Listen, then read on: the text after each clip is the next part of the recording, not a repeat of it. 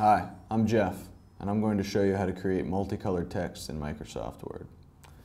Now, there's a few ways to do it. Uh, you, you have your text here. You highlight the text that you would like to change the color. And right below the, the font size area, you'll see uh, the letter A with uh, a color underlined, and that is font color. You click the little arrow next to it, and you'll see a drop-down box, and you have all kinds of colors that you can choose from. And I'm going to pick red. This text is red.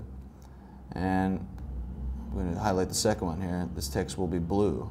And I'll show you a second way to do it. You can go up to the Format tab up here. And the first one in the drop-down is Font. You click that, and it will bring you to a second font screen. And you can see this is another way to do it. Right under your font types, you have font color. And the automatic setting is black and you'll see a very similar drop-down screen. And then you go down here to the blue, or whatever one you want, and you click blue, and then you go down to OK, and now your text is blue. And there's a third way to do it.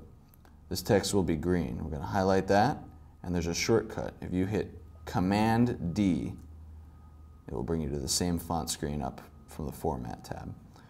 And then you go down to the same place, you go down to Font Color, select the color you like, in this case green, then you hit OK, and voila, this text is now green. And that's how you create multicolored text in Microsoft Word. I'm Jeff. Thanks for watching.